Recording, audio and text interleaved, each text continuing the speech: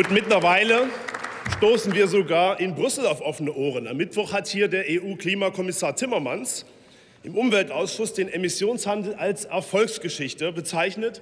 Und er hat recht. Neben Marktanreizen braucht es auch endlich echte Technologieneutralität.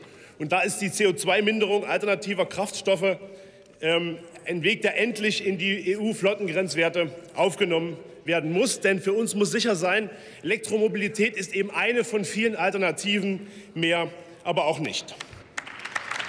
Liebe Kolleginnen und Kollegen aus der Bundesregierung und aus der Koalition, Planwirtschaft führt uns nicht zum Ziel. Mit Planwirtschaft verlieren wir die gesellschaftliche Akzeptanz für den Klimaschutz. Also geben Sie sich einen Ruck, denn richtig müsste doch das Motto lauten, Nutzen rauf, Kosten runter. Erweisen Sie der Marktwirtschaft auch im Klimaschutz den Respekt, den sie verdient. Unser Antrag bietet Ihnen hier die notwendige Orientierung. Vielen Dank.